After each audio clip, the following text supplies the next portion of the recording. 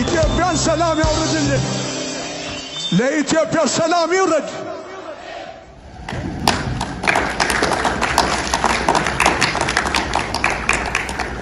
በመጀመሪያ እንኳን ደስ አላችሁ ለመላ ኢትዮጵያውያን። ይህ የምታዩት ቪዲዮ እንግዲህ ከሁለት ዓመት በኋላ ለመጀመሪያ ጊዜ የኢትዮጵያ መንግስትና ህወሓት ተስማምተዋል። ያንን አስመልክቶ የተደረገ ስምምነት ማጠቃላይ ላይ የተቀረጸ ቪዲዮ ነው። ብዙዎቻችሁ በተለይ በፌስቡክ ጥያቄ አቅርባችሁልን ነበረ። ምንድነው ስምምነቱ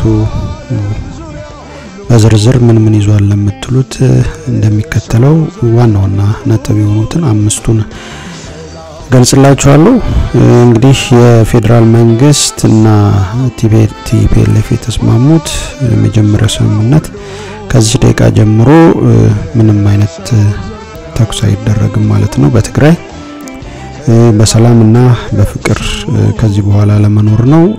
ሌላው ምንድነው TPLF ወይ ህወሓት የኢትዮጵያን ህገ መንግስት እንደሚያከብርና ህገ መንግስቱንም አክብሮ እንደሚቀጥል ተናግሯል። በዚህ መሰረት ትግራይ ውስጥ የፌዴራል መንግስት ወታደሮች ብቻ እንዲንቀሳቀሱ እንዲንቀሳቀሱ ይፈቀዳል ማለት ነው። የቲዲኤፍ ወይ ደግሞ የትግራይ ጦር ደግሞ መሳሪያ ፈቶ ታድሶ ይገባል ማለት ነው ባለው ስምምነት መሰረት። እንደዚሁም የኢትዮጵያ መንግስት ምንድነው ቃል የገባው የተለያዩ እገዛዎች ለትግራይ ህዝብ እንደሚያደርግ መብራት የሌለባቸው አካባቢ መብራት እንዲኖር ምግብ ያጠረበት በቃ ባንክም የተለያዩ መሰረታዊ የሆኑ ስራዎችን እንደ ድሮ ለማስቀጠል ተስማምቷል።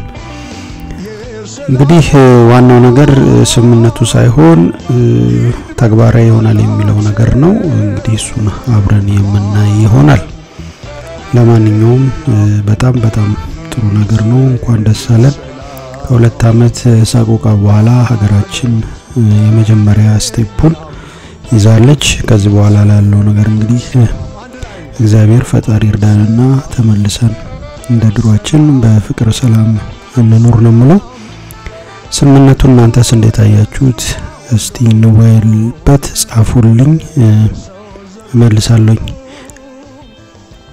አዲስ አበቦችን share፣ like፣ subscribe በማድረግ የኛ ቤተሰብ የሆኑ ደግሜ እስከማገኛችሁ ድረስ ኢትዮጵያ ሀገራችን በሰላም በፍቅር ለዘላለም ተከብራ ትኑር።